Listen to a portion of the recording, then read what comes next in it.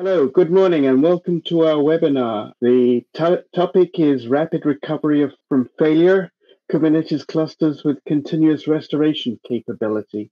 Uh, brought to you by Mirantis and Trilio. And just to just to introduce our presenters, um, here's us, uh, Stefan from Trilio and myself, Ben Dorman. Um, Stefan, would you like to introduce yourself briefly? Yeah, my name is Stefan. I'm based in Germany. I work for Trilio since uh, about two years. And yeah, I'm director of product marketing and uh, happy to be here today. And I'm Ben Dorman. I'm coming to you from Victoria, British Columbia, Canada. I've been with uh, Mirantis for about 18 months. And I work with uh, partners such as Trilio to forge business solutions that involve Mirantis and the partners' products. So let's give you an overview of where we're going today. Um, we're going to start talking a little bit about the context in which we're operating. What is disaster recovery when you need it, and why? What we're going to talk talk to you about today is really important. Um, we're going to talk a bit about the cloud native technology and why um, these solutions really uh, depend on the, the features of cloud native work. And then, because we're a software company called Mirantis, we're going to show you the Mirantis platform, even though we're going to also show you how strongly dependent everything we do, we're talking about today is on open source capabilities. Uh, after which, I'm going to hand over to uh, Stefan, and he's going to talk about uh, data protection and intelligent recovery uh, from Trilio, and then he's going to show you the continuous recovery demo, which is the feature of this presentation.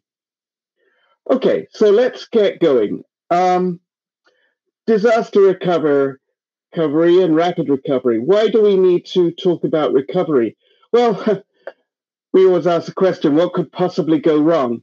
And right down here, I've got five bullet points that talk about different things that can go wrong with your data center. Um, so these are listed because each of them requires a different response. And you have to think through what it is you would do if, if any of these things happen.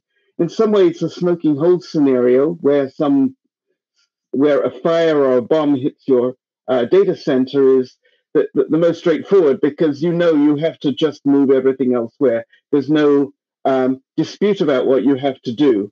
Whereas some of these others, there's going to be some kind of process to determine what I need to do to recover. For example, if the network to your data center is down, um, do you need a full recovery? Um, can you afford to keep uh, uh, keep the, the um, applications down until it comes back? Well, it will depend on how long. Someone has to make a decision about that. Ditto something like ransomware when someone's hijacked all of your all of your precious data. What do you do? Um, what is the response? Um, and again, um, partial and total data loss are handled differently. Um, h- how much data loss can you can you tolerate? So those are the kinds of things that can go wrong. Um, but the important thing is that you plan for what to do if any of these things happened. What what applications you have are important, and which order would you want to recover them?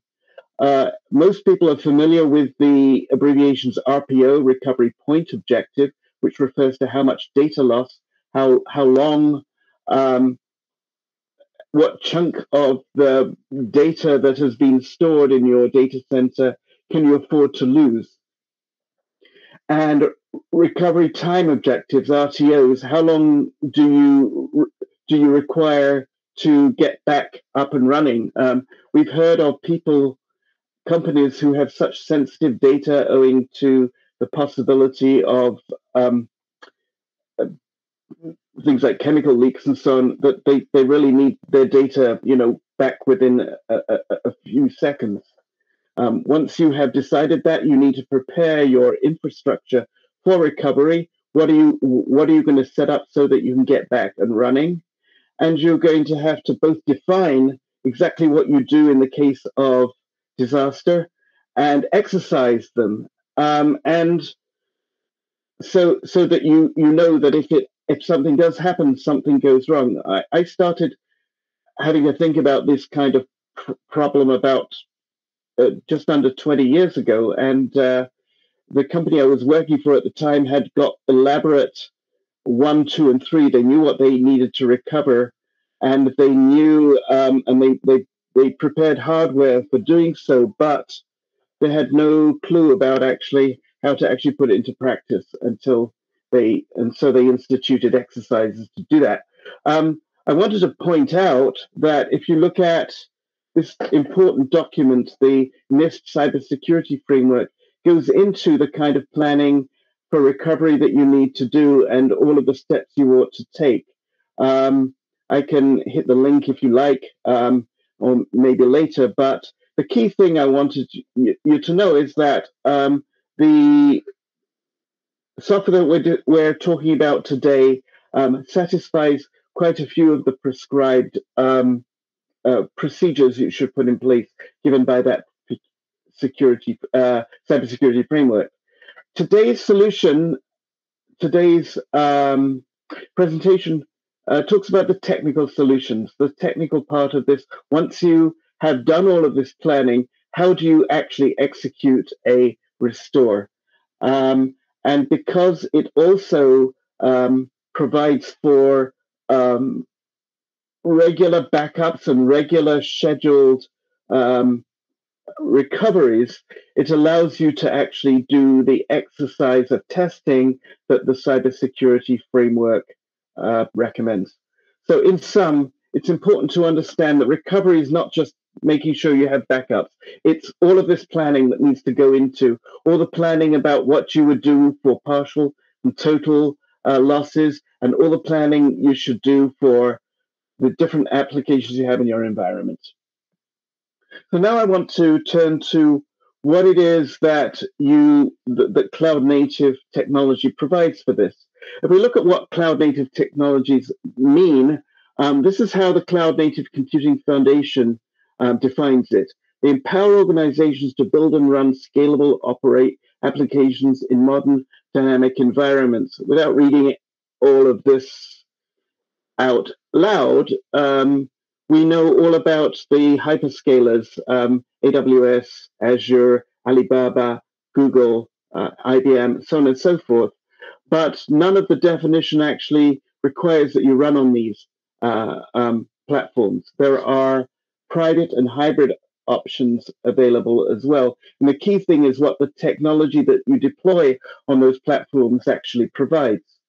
So um, if I can summarize quickly all of that, cloud native strategies include containerization, dynamic orchestration, the ability to um, uh, change which containers are connecting to each other at any one time, auto scaling, allowing them the number of instances to um, increase or decrease based on demand or other criteria, and microservice oriented in the sense that containers uh, are recommended to run essentially one application each, although there are good reasons to change that sometimes.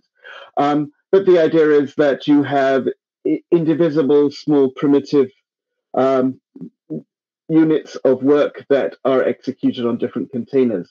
The containers themselves are redundant, meaning it doesn't matter if one of them dies, uh, the orchestration framework will spin it up again and immutable. Um, the as they as they execute, uh, the the actual image in memory is unchanged. So that means that the persistent data storage is separated from the applications themselves. is is also dynamically provisioned, and um, that is one of the key features that makes the data storage actually uh, mobile, can be placed anywhere and moved and re-referenced dynamically. It's expected that the future will be hybrid. We have hyperscalers. We also have private data centers which can host, host cloud native environments that support this technology. Um, container orchestration is key. That's containerization plus dynamic orchestration. And the two most uh, common uh, orchestrators are Kubernetes and Swarm, Kubernetes being uh, dominant and Swarm making somewhat of a comeback. Um, and then you need an infrastructure framework that allows you to provision the servers that um, uh, the containers run on. Examples are OpenStack and uh, VMware. So let's talk a little bit about Mirantis. We're going to talk today about uh, a, a, solution. The solution is deployed on Mirantis OpenStack for Kubernetes. Um, we're using Mirantis's Kubernetes engine, but uh, which is compliant with uh, Kubernetes 1.24, I believe, at the moment, uh, and managed by Mirantis Container Cloud. Uh, Mirantis Container Cloud is a framework for deploying and um, managing clusters and providing some software to them. Um, the second element of this is off platform physical storage because backups need to be in a different place by, by almost by definition. Um, we, in Kubernetes, using Kubernetes capabilities, we have storage classes and volume snapshots, which are supported by the standard, and they conform with the container storage interface. Um, the backup and restore capability is pro- being provided by Trilio, which you'll see shortly. Um, and finally, the CSI implementations, container storage interface. Well, they're another piece of open source software. Um, you, will notice all the red, the red text is for anything that's open source here. So we have been looking at two for this purpose: OpenEBS um, and the cStor um, implementation, which supports volume snapshots, and Ceph, which also supports uh, CSI. Um, Another possibility is Portworx, uh, which is a proprietary offering, which is also compliant with the C- CSI standard. So let me give you a quick demo of the Mirantis capabilities. I've got a short video which I'm going to talk you through that's going to demonstrate these things. Um, we're going to look at the OpenStack console, um, the Container Cloud Manager, uh, show how multi-tenancy works, um, and uh, without going into reading all of that up, we're going to end up with a quick demonstration of the Lens um, software, which allows you to introspect and operate uh, sets of Kubernetes clusters together. So here's the video. Um, I'm going to talk a little bit over it. It's not uh, got any sound. Um, so this is the OpenStack um, Horizon console, which we're going to sign into. And the first thing we're going to see is the instances. The um, it, it's allowing us to provision um, virtual machines, and OpenStack is historically a product uh, of NASA and uh, Rackspace, and it was intended to be an open source version of AWS actually. So you'll see all of these uh, instances starting KAAS node Kubernetes as a, as a service. And then you'll see this is a server. These are all provisioned by Mirantis Container Cloud. And this is a an extra one with, which we can use to um, a VM that's just been deployed to uh, um, monitor and manage those. Uh, it's running Ubuntu desktop and it allows us to um, view the the internals of the cluster. So um, this is that's just what all of that looks like. Now we're going to have a quick look at Container Cloud. Container Cloud has been deployed also on OpenStack, and we're going to log into that. And we're going to see, um, first of all, the, the, the, management cluster, the new version has these nice prompts that tell you what's going on. Um, these are the two clusters, primary and secondary, that we have deployed uh, um, Trilio on. The, you can see there are different projects. Those are different namespaces that support multi-tenancy. And the default namespace has a management cluster in. The management cluster has three control plane nodes, no worker nodes. And what all of that does is provision other clusters and, and send software to them, such as upgrades and so forth.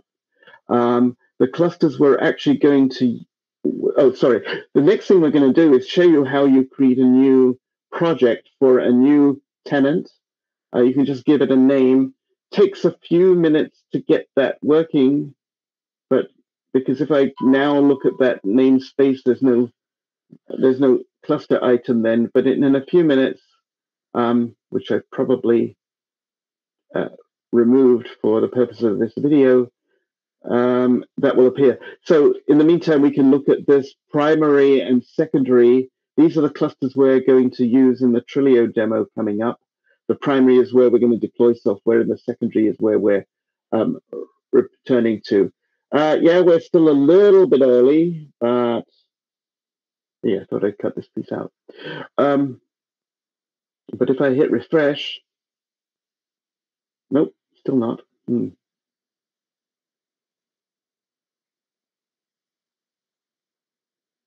Hmm. Okay.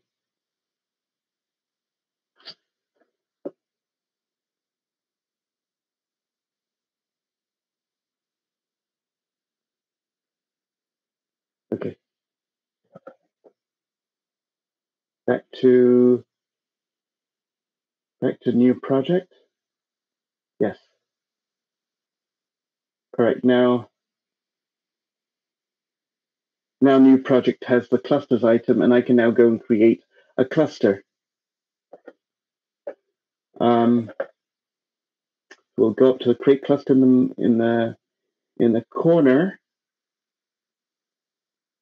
Uh, but first, before we create cluster, we have to provide credentials.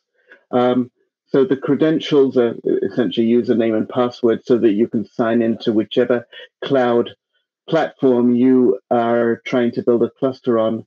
Um, and so um, Container Cloud can uh, m- uh, manage uh, clusters in multiple data centers. You just have to give it different credentials. Um, sorry.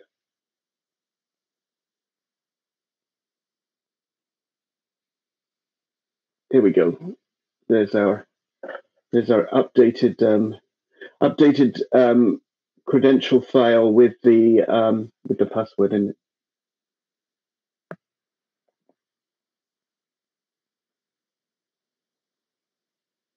Okay, so we're going to upload that one. And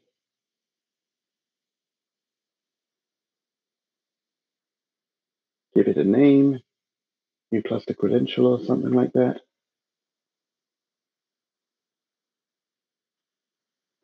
And there it is. And so once we have credentials, we can now create create clusters. Um, so we'll uh, do create cluster, and we'll give it a name. We're going to call it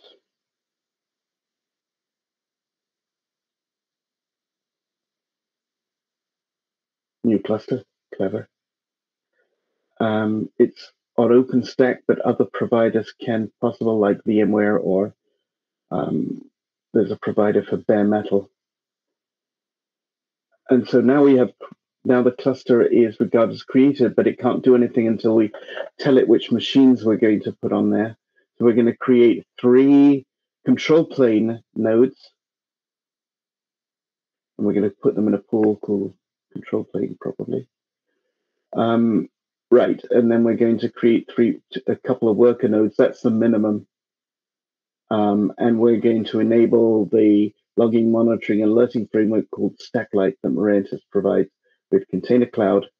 And you'll see that now, the machines are marked as pending. Okay. Now, um, if I go to Lens, I can actually see, segue to this. Stefan's going to mention a bit about this before, but these are the clusters that we have um, provisioned uh, for the, the purpose the primary and secondary. And we will quickly show you that uh, you can see the nodes um, being available and also you'll see at the bottom that for any any object you can see the YAML file and you'll be able to see also the logs for all of those clusters. And you see these clusters are provisioned in Container Cloud, whereas in um, uh, since we just did that, the new cluster is on its way. Some of it's provisioned, some of it's uninitialized, and it will take about 20 minutes or so to to create a cluster. But all you had to do was to create that was to uh, simply click a couple of buttons. And now, if I go back to OpenStack, you'll see that more RAM is used up Um, and so Container Cloud has gone to OpenStack and provisioned five new plus five new servers, which are um, available, which are only one minute old. So, uh, final thing before I hand over, if I now go back to Container Cloud, um, I can go back to the, not that one, the new project, and I should have it's already up and running um, with the with the five um, with the five cluster uh, with the five nodes ready to go that I um, started up about an hour ago. Okay, um, Stefan is now going to talk about Trilio and continuous recovery. Uh, yeah, thank you very much for the great introduction. And this uh, presentation of Ben's is the perfect foundation for the work of Trilio. So I would like to share my presentation as well. So Trilio and this intelligent recovery platform is basically building on top of Ben's MKE environment, multi MKE environment managed by um, Mirantis Container Cloud. And we are basically using, before we start into my presentation, we're basically using everything which is managed by the platform, by MKE. So they are doing the heavy lifting, and we are just another very helpful application on top of Ben's infrastructure. It could be, in this case, it's a multi-cluster architecture, and it can be also hybrid, as, as Ben mentioned. But what is actually Trilio? I mentioned before, it's an intelligent recovery platform because there are a lot of tools they can do backup. Backup of something 10 years ago, 20 years ago, it was copying a file from A to B and big hopes afterwards uh, if you can actually recover your file because everything had to be very identical and an identical twin, to be honest, if it uh, should work. But these days, it's completely not applicable because things are very, very much agile. You have a lot of different distributions, hyperscalers. You have a lot of different storage providers and hardwares underneath. So to have the identical twin on your backup side, on your cold standby side or something is very rare because you everybody wants to be agile. Everybody wants to save costs, maybe to have a you know a cheaper hardware vendor here, as compute nodes, storage nodes, these kind of things. So the actual recovery platform has to handle that, and that is basically the way of saying, okay, an intelligent platform should be able to to cover all of these complexities which the normal user don't want to have every, anything to do with, right? Because this is something, this is our task. As you see, um, the main platforms is uh, Kubernetes and OpenStack. And in this case, we also support both products of Mirantis and all the others, because maybe you want to swap between them. Mm. So let's have a look about Trilio for Kubernetes, because we're talking about Mirantis Kubernetes engine. So we're talking about Trilio for Kubernetes. What is our product? Our product is a software which you basically install like a normal application. It's not a SaaS software, it's a regular software just installed on MKE, like a regular application, as I said. It's agentless, so you don't need to install any agents to your applications or your workloads. If you do a backup, it's non disruptive. Nobody wants to have a five hour downtime or something for taking a backup. And it is built the same way. It's designed for the cloud, it's built for the cloud, it's built on the cloud, which should inherit all the very important topics like multi-cluster, self-service, mm-hmm. no bottleneck, if the cloud scales, Trilio scales, so everything which is basically normal these days and which you would expect from an application. And the last bit is very important. We use a as our backup format, which is basically you know including your data, customers' data, sensitive data. It is an open universal schema, which is a QCOW2 image. So you can use all the scanning tools you have for viruses and malwares. You can mount it to Linux if you don't like Trilio anymore. So it's a very trans- transparent way of backing up in a certain format your your data. So there is no self invented proprietary format nobody can read and handle and you need Trilio to read it. No, it's a you know proven since many years in the Linux world QCOW2 image format. So, what are we talking about today? Before we dive into the demo later on, let's explain what is actually the difference. As I mentioned before, many years ago, uh, the data centered recovery was actually the uh, the way the way to go. And yeah, basically, people were just caring about disks and data, and uh, for example, um, taking a snapshot of a VM or these kind of things. But this is just the halfway, right? This is just half of the thing you should have these days to recover entire application landscapes, for example. So the world has changed, as written on the board. You need an intelligent way. You need a smart way of, of recovery. And what does that actually mean in a in a, a short uh, summary? So the method should be intelligent. So from an administered service kind of somebody has to do it, an expert and backup expert or something, a silo team has to do it with superpowers on storage level. But in most cases, they have no clue about the application. They are doing jobs from a ticket system. And if they have to recover something, they have to ask somebody to test it. So it should be self service, right? Same for the responsiveness. So the ticket is there, you know, the backup team is maybe the bottleneck because they're overwhelmed with the low amount of work uh, because we're talking about DevOps these days. So there are multiple different uh, requirements when it comes to uh, backup and recovery. So it should be automated. It should be you know, self-service or orchestrated even. So talk about orchestration. You know, back then it relies on experts. They know exactly what to do. They had maybe spaghetti code in place or some scripts or something like that. These days, Ben mentioned it. We're talking about orchestration tools like you know Chef um, Salt, uh, Terraform, these kind of things. So basically, we we can use that. We can leverage that. So same for the data. Um, if we talk about applications, back then you have to know what this guys or the old method is. You have to know what to back up, and maybe there's a mistake. Maybe you forgot half of it. Um, there were there were two disks instead of one, or you forgot about the metadata. If you do it the intelligent way, there is an automated discovery of what is actually application and what belongs to it. And then you can test it, you can prove it, and you can bring evidence. Recovery time, you know, because you do it manually and by a certain person and another person is doing it differently, it's kind of unpredictable. If you do it automated, orchestrated, you test it, you, you can actually see what's happening and you can prove it as well. Um, to, for example, uh, regulators. Now, if it comes to compliance, you need um, you need evidence to these authorities saying, hey, we have done the backup, it's orchestrated, it's written in a policy, it's exactly doing this, and this is the evidence. And this is what they need. They need something written down, and there is no variation in it because there's no human intervention. It has been defined by humans, but it's done by uh, machines. So basically, basically, there's no way around to make any um, mistakes. Okay, let's come to the to the last one last one, but my slide goes forward, is the topic of use cases.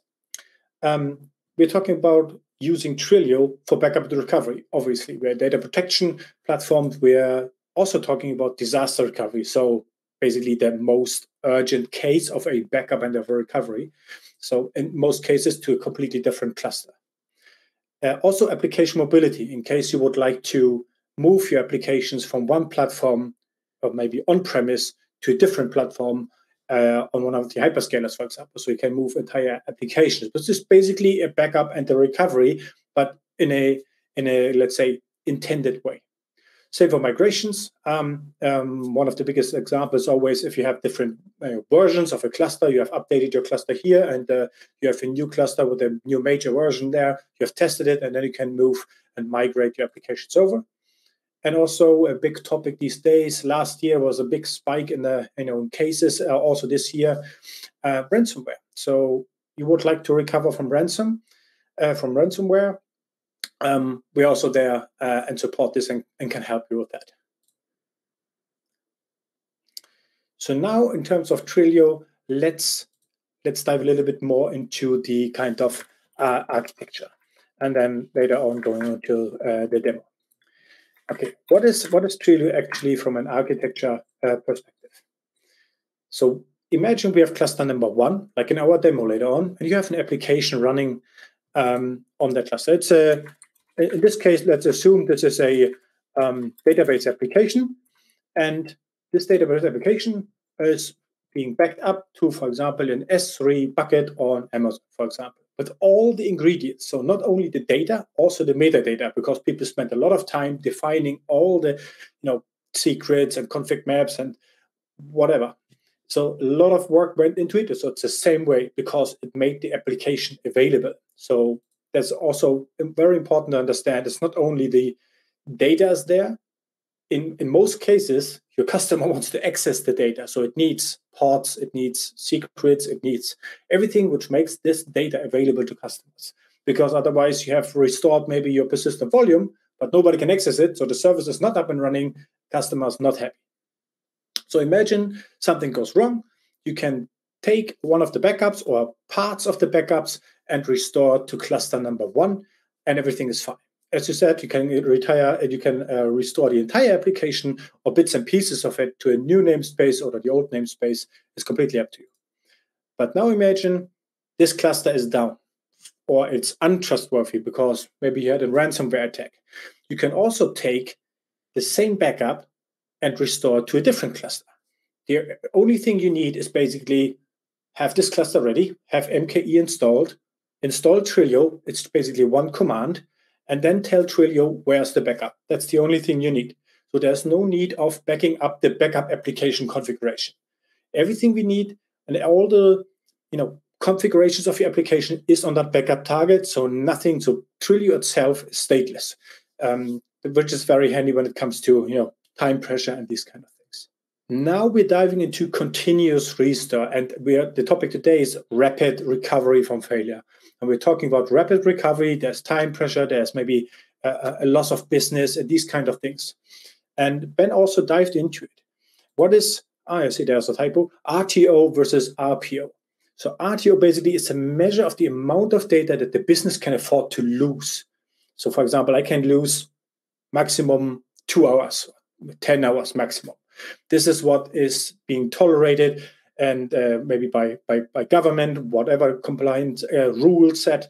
And when it comes to RPO, this refers to the amount of time your organization can afford to lose the follow uh, lose following a disaster until business operations can resume. So how long does it take to basically be back alive, be back online? And this is you know basically um, uh, equal to your SLA. If you you know say to your customers your service uh, we, we, we promise you your service will be up for a certain uh, percentage and uh, you have to solve that and this is basically the rpo value. And this is where Trilio also covers both things but continuous restore especially is pointing to the rpo so what does that actually mean?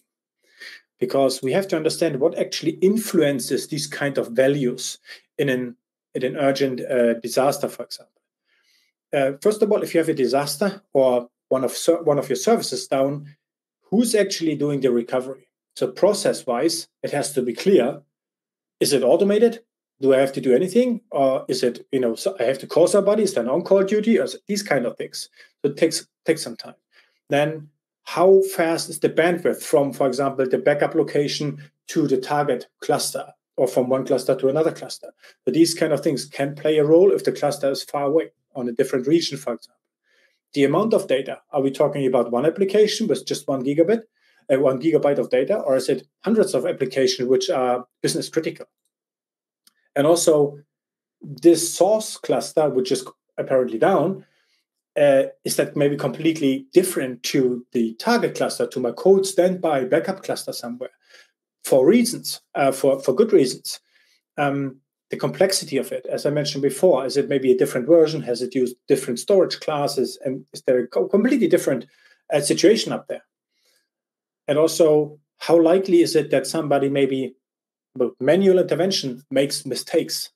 Um, as I mentioned before, uh, if it's tested, proven, automated, um, it should be tested before. Nobody, n- nothing should go wrong. But if something like a human has to change something in the configuration before restore stuff, that's maybe um, a point where potential mistakes can happen, and so on and so forth. So there are just some examples what can happen, and then you have no time. You have pressure. Customers, you know, are complaining. Uh, maybe tomorrow you're in the newspaper, right? So that's something to avoid, and to also incorporate into your um, into your thinking. Now let's talk about continuous restore in action. So what is continuous restore? Continuous restore is basically a an enhanced feature of our you know portfolio, staging data on your clusters um, to be used in case of an emergency. So you save the time of transferring over the data in an urgent situation. So what will happen? What we need is we need TVK, so trilio for uh, Kubernetes, installed on all these clusters. Obviously, we need the trilio logic there. We define a policy, which is a regular policy in Trilio. There's just another submenu defining the continuous restore policy. So there's not an additional feature. If you if you are able to use Trilio, it's all in. You can use all the features. And we store regularly the backups on the, in this case, S3 bucket or blob storage or Google storage on your backup repository in the middle. And then the clusters on the right hand side will check hey, is there a new backup for me? Is there something, is there some data I have to stage on my on my storage nodes or something to be able to recover in actually no time? Because this link could be you know small link. You just you know it, it, the higher the data is you would like to restore in an urgent um, case the more you have to wait. Uh, and you know there are just some things you could easily erase out of the equation so this how does look like we store the data and then we distribute them basically to your can be one two three or maybe 100 of clusters and we stage the data there waiting to be activated so imagine you have maybe a database, a MySQL database, which is important, or some other stuff, and it has maybe already 10 gigabytes. Imagine maybe how long it takes 10 gigabytes just to transfer over the data manually or in that uh, specific moment. If you can save that time, save it. And it makes things easier and uh, your service up and running much more quickly. So now let's see how our demo setup looks like as uh, already shown, we have a primary MKE cluster, and we have our backup uh, repository. In this case, we used AWS S3, and we created two buckets. One is the event bucket, which is used by Trilio for coordinating the continuous restore policy, so Trilio internal communication. And one is the backup target where your backups are being stored.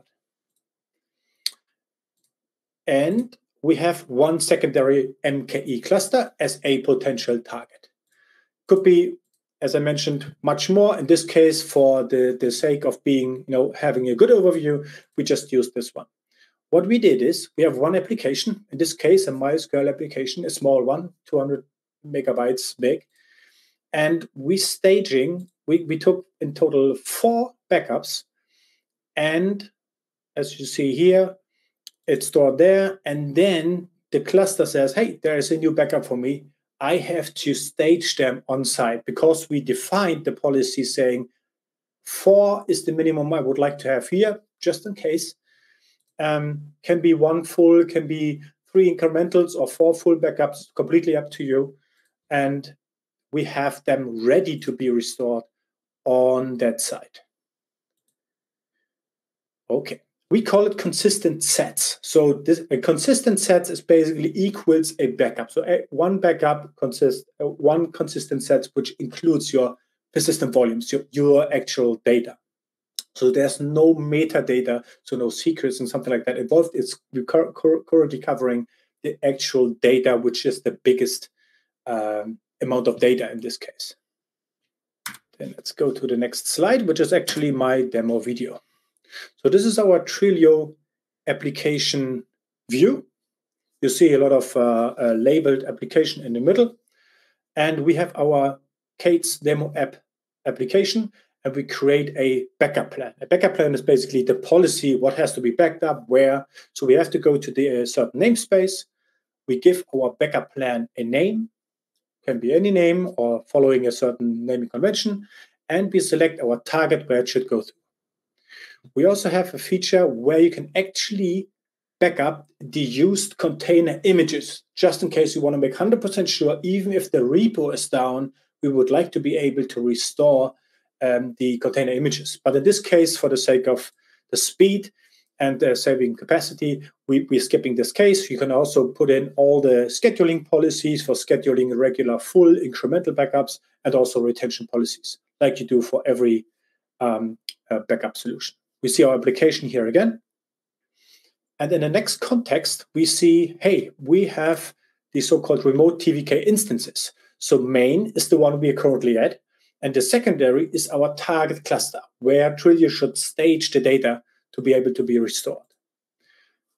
And on the right-hand side, we have the continuous restore policy, which defines how many data sets, consistent sets, you would like to stage on that, on that end. This will be created now. Takes a second. And the uh, continuous restore plan will be stored on this one and also on the event target I've mentioned before, because from there, when there's a backup also available, the other cluster will see, okay, there's a backup available. I have the configuration from that event target. I know what to do because I know I have to stage four consistent sets there. And yeah, basically it's doing its, its job. So now we are executing one backup based on that backup plan. And I copy it because I would like to do uh, three additional ones for the sake of our demo here. So what happens now? We're taking a meta snapshot, which is important to note. This is the place where all the metadata, everything which belongs to the application, so secrets, config maps, whatever you have defined, the port configuration, everything, and also the data, the actual persistent volume will be. So you see the entire application, so Trilio is application centric, because that is what matters. You would like to restore your entire application, your entire workload, your service, whatever you have there, the entire thing, not only the data, because you would like to have a comprehensive backup here. And at the end, uh, I fast forwarded a little bit. Um, we up- uploaded the, the data and the metadata to our backup repository target. And at the end, all the workers, the our worker uh, containers will be cleaned up so we do not leave anything on your cluster. It's just on demand for security reasons. So now we see in the backup plan section that our continuous restore backup plan is in progress. So it's doing its job. And we see, okay, the first backup is there. Perfect. It's available, which is always a good thing. And we also have our first uh, overview. Now it's in progress. We will see in a second that I have created three additional ones. So we have in total our four consistent sets. See also statistics. There we go. Outbound means from the main, it's outbound, and our target, there will be the data shown in the inbound section. So it has now four consistent sets um, existing on the cluster. So it's staged, it's there, it's kind of hidden, let's say um, able to be uh, used for a restoration uh, in case something happened. This could happen manually or orchestrated, automated.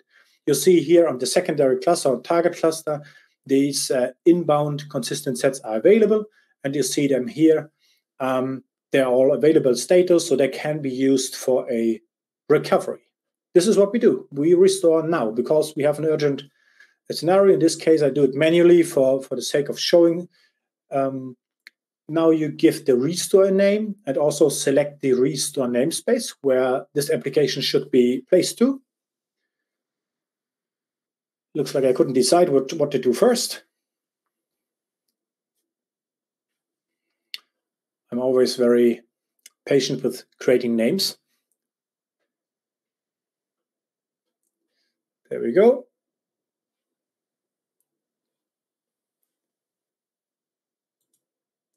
And also select the namespace.